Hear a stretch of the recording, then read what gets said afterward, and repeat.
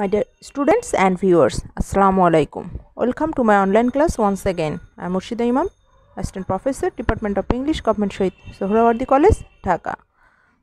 My dear students, today I am here for the students of Honors Second Year, Department of English. In the continuation of our previous lecture, today we will uh, read part 7 of the poem The Rime of the Ancient Mariner. And today we will read half of the part. Okay. And you know it's the last part of the longest poem, The Rime of the Ancient Mariner by S.T. Coleridge. Now, please get ready with your text and go to part 7 of the poem The Rime of the Ancient Mariner. The starting line of part 7 uh, read the first stanza of part 7 that is the this hermit good lives in that wood which slopes down to the sea. How loudly his sweet voice he rears. He loves to talk with mariners that come from from a far country. Here uh, we see that uh, to Coleridge that is uh, uh, the ancient uh, mariner describes the hermit okay? Uh, in part 6 we uh, uh, saw that uh, the mariner noticed a third man in the boat and he was hermit and now we see uh, that the he describes the hermit that is this hermit good lives in that wood. That is uh, the hermit is a man of nature. Okay? He lives in the wood. And which slopes down to the sea okay? And the wood slopes down to the sea nearby sea. And how loudly his sweet voice he hears that is here always sings a religious song. That is a hymn. Okay? A religious what is hymn? A, a religious song or poem of praise to god. So the hermit uh, is a man of god and man of nature. He sings a religious song with his loud sweet voice okay he loves to talk with mariners that come from a far country. And uh, here the hermit uh, loves to talk with the mariners who, who is uh, who came from the far country and land uh, lands here. Okay. And uh, here the significance of the hermit is very very important for you. That is what is the role of hermit in the uh, poem the rime of the ancient mariner? You have to make notes on it okay? And now uh, go to next stanza. He kneels at morn and noon and eve. He hath a cushion plump. It is the moss that wholly hides the rotted old oak stamp. Okay here we see that uh, the hermit uh, how many times uh, did the hermit pray? Okay he kneels at morn and noon and eve. So we see that hermit says his prayer thrice in a day. Okay in the morning at noon and in the evening. And uh, he had a thick cushion okay which was a rotten old oak stump covered all over with moss. So he's a man of nature. Then uh, go to next stanza please. The skip boat neared. I heard them talk why? This is strange i trow where are those lights so many and fair? That signal made but now. Okay? Here uh, we see that uh, the uh, small a small light boat came closer. Okay? The mariner heard the men in the boat here the mariner is uh, describing that the uh, small light boat came closer and the mariner heard the men uh, talking in the boat and what are they saying? Yes they are saying that it was strange that they did not see in the ship uh, the host of the uh, fair lights which had beckoned unto them just a few minutes ago. Okay where are those lights so many and fair? That signal made but now.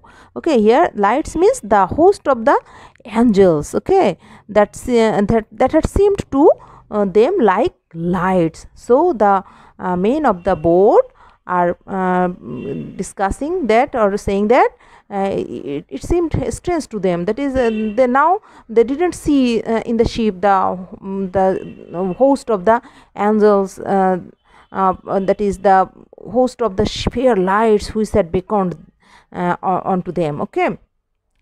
Just a few minutes ago they saw it but now Uh, they are not uh, seeing the, they are not uh, watching this. Okay so they uh, it, it seemed strange to them. Then go to next stanza please. Strange by my faith the hermit said and they answered not our cheer. The planks looked warped and see those sails how thin they are and sheer. I never saw aught like to them unless perchance it were. So in this stanza uh, we see that the they become very much um, wondered to see the strange type of sheep. Okay the hermit the pilot and the pilot's boy all the uh, passengers or all the men of the boat became very very wondered to see the strange sheep uh, because it, it, was really a strange not to uh, find those lights on the ship. And besides the crew did not respond to their shouts of welcome. Okay the boards of the ship look, looked shrunken and the sails were thin and dried off. Okay very very thin and dried up and seeing the appearance of the sheep they became very much wondered and uh, they compared uh, it with what? That is uh, go to next stanza please. That is uh, brown skeletons of leaves that lag my forest brook along. When the ivy tod is heavy with snow, and the owlet whoops to the wolf below that eats the she wolf's young. But students, mark those lines, please. Uh, this is a very much uh, beautiful image of the uh, woodland, okay, of the woods. And uh, here we find also the use of simile, okay. That is, uh, the sheep is compared with what? that is it were brown skeletons of leaves that lag my forest brook along that is the manner father said that the uh, he, had, he had never uh, seen uh, that is uh, the uh, hermit was saying that is the he never he had never seen anything so dry and twisted. As were those sails except the brown dried skeletal leaves that obstructed the movement of the brook in the forest in his forest okay? And when uh, the bush of uh, uh, bush of ivy that is uh, what is ivy my dear students? Do you know? Yes ivy is a, a kind of woody climbing evergreen plant okay? And uh, uh, it has a shiny dark green five pointed leaves. And ivy tod a bushy clump of ivy okay? And so we see that the the when the ivy tod is heavy with snow that is when the bush of ivy was laden with snow and uh, what happens? And the owlet whoops to the wolf below that eats the she wolf's young a beautiful image my dear students. Here you see that is um, and uh, the owlet. What is owlet my dear students? Yes owlet means a baby owl okay baby owl and whoops yes shouts or scream or shriek that is the call or um, the loud cry of an animal like um, owl. That is the baby owl when and the baby owl when the baby owl uh, shouts or screams to the wolf blow that is um, at the wolf which uh, beneath the tree ate his own young ones. In the absence of the she wolf that eats the she wolf's young that is the she wolf is absent and uh, at that time uh, the wolf uh, ate his uh, young ones okay? And uh, seeing this the owlet the owlet that is the baby owl uh, shouts or shrieks so my dear students here you find a very very beautiful image and uh, similar to my dear students mark those lines please and uh, here we see the treatment of nature of stick is here okay now go to next stanza please dear lord it hath a fiendish look Fiendish look, the pilot made reply. I am afeard. Push on, push on, said the hermit cheerily. Uh, so here you see that the pilot called upon god. Okay dear lord that is called upon god. Why? To save them. And exclaimed that the ship really had a devilish appearance. Okay it had a fiendish look that is devilish look devilish appearance. And so he was afraid. Who was afraid? Yes the pilot made reply i am afraid. That is the pilot was very much afraid to go ahead towards the ship as the ship was very much strange to them. So uh, the uh, boatman that is the pilot and the pilot uh, became very much afraid to go ahead towards the ship. But the hermit encouraged him. My dear students here the role of hermit the hermit encouraged him to row the boat on fearlessly. That is push on push on said the hermit cheerily. So the hermit encouraged them encouraged the pilot to row the boat on fearlessly then go to next stanza please. The boat came closer to the ship, but I nor spake nor stirred. The boat came close beneath the ship, and a straight sound was heard. Here, the mariner is saying that the boat came closer to the ship. And what happened? The, though the mariner tried to speak and to move, but he couldn't. That is, he could neither speak nor move and the boat came close beneath the ship.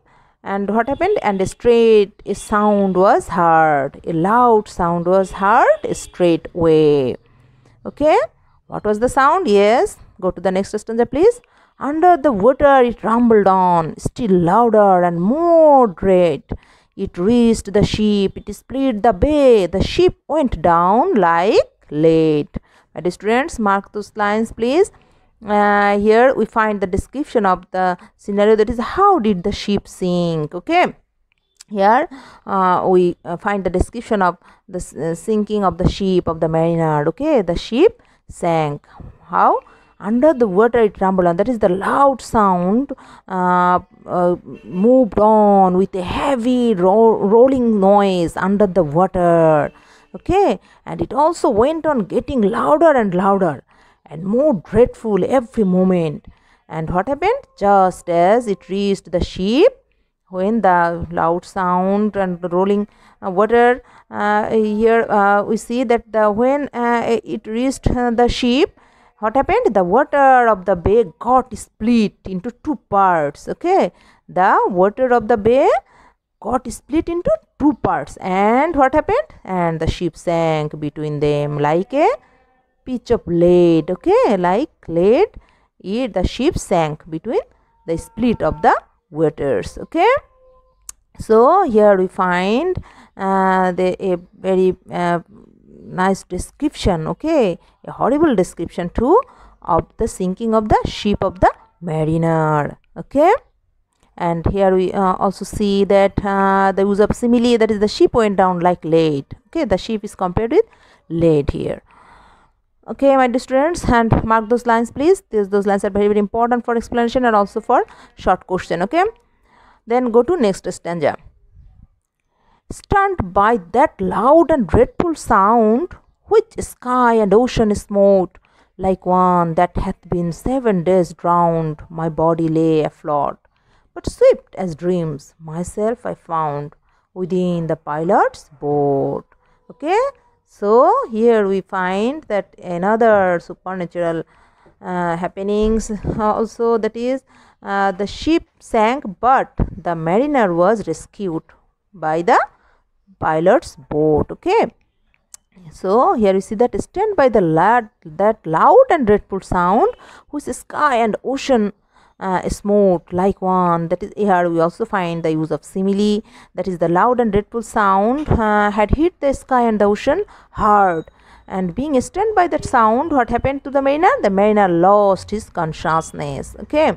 And this condition was compared with what? That is like one that had been seven days drowned. My body day afloat that is when he um, came back to life that is when he came back his consciousness or he regained his uh, consciousness what happened? He found himself um, floating on the like that uh, floating on the surface of the bay water uh, like one who had been drowned seven days ago. Okay so here we find also use of simile here and within uh, but swift as dreams myself i found within the pilot's boat. Uh, so we see that within very short time okay? Uh, as swift as in a dream okay? As swift as in a dream he found that is the mariner found himself in the pilot's boat. So we see that the uh, mariner was rescued by the pilot's boat. But the ship of the mariner sank into the water of the into the bay of the water into the water of the bay okay? And uh, then go to next stanza please.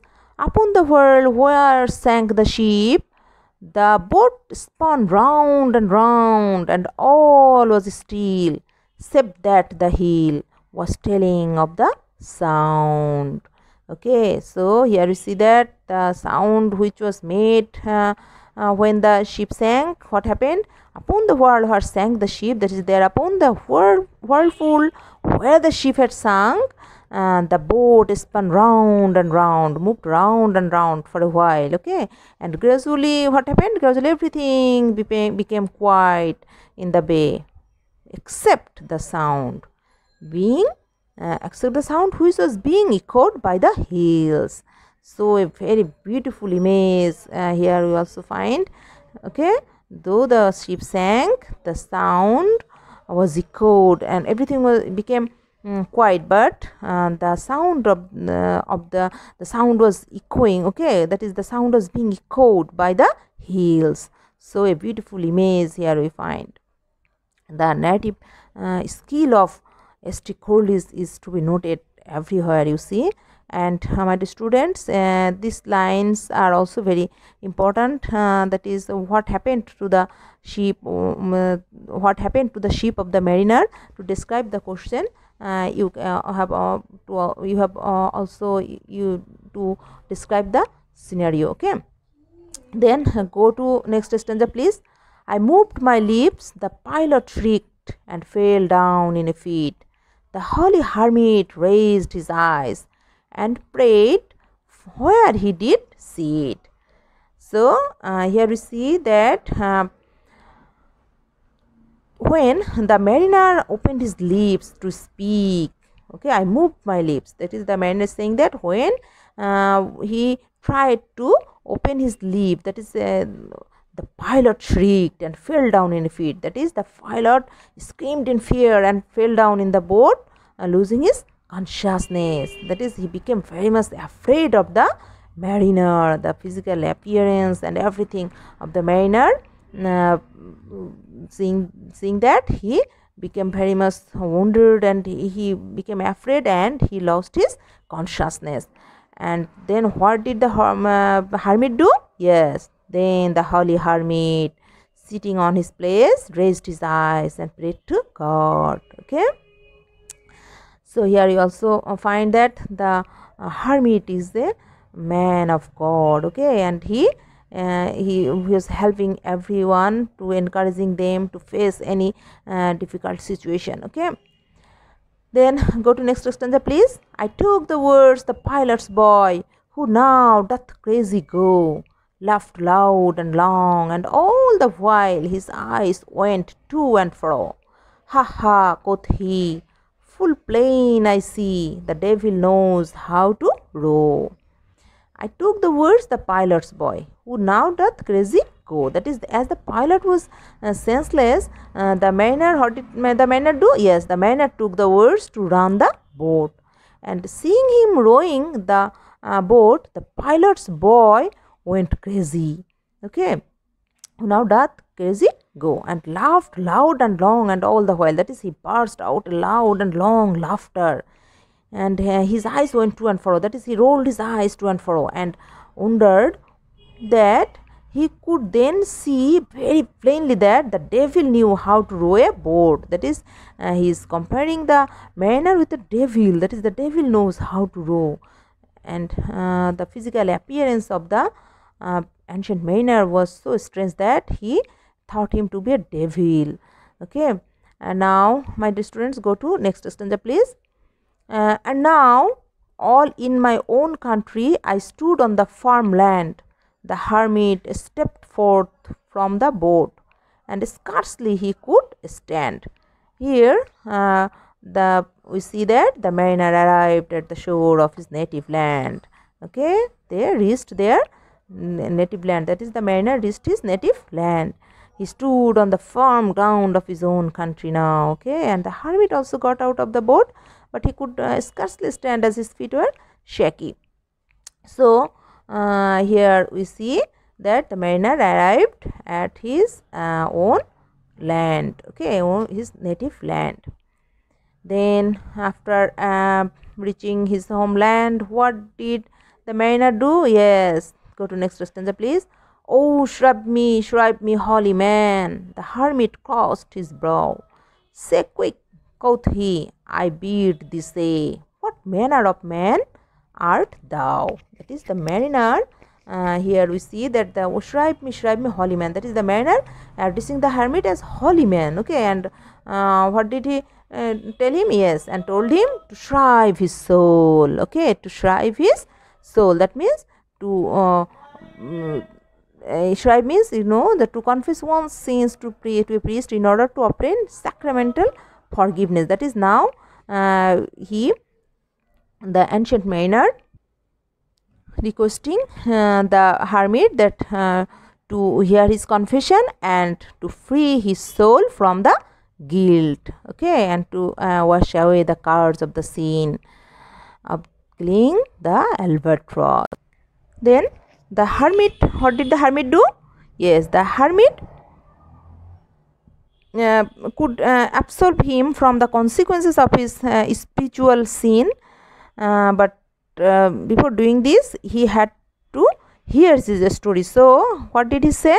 Say quick Kauthi, i bid thee say what manner of man art thou? That is hearing this the hermit crossed his forehead okay? Brow means forehead you know? And uh, the hermit crossed his forehead and then told the mariner to say quickly what kind of man he was. That is uh, he uh, is uh, the hermit is inviting uh, the mariner to tell his story okay? That is what kind of man he was. Uh, to after hearing his story then the hermit could shrive him okay so uh, that's all for today okay? In our next class we will start from our next stanza okay? Uh, no more today. And now i want to give you homework from our today's discussion. Get ready to uh, take homework please. Question number one that is write on the significance of the role of hermit. I will uh, give you two questions today okay my dear students? Question number one write on the significance of the role of hermit. And question number two how did the ship of the mariner sink? That is you have to describe the uh, scene of the sinking of the ship of the mariner okay? Question number two how did the ship of the mariner sink or what happened to the ship of the mariner? Okay that's all uh, about the homework today and uh, in our next class we will start from our next lesson that is stanza number 15 of uh, part 7 of the poem the rime of the ancient mariner. And students see you again in our next class inshallah. Till then be happy goodbye allah hafiz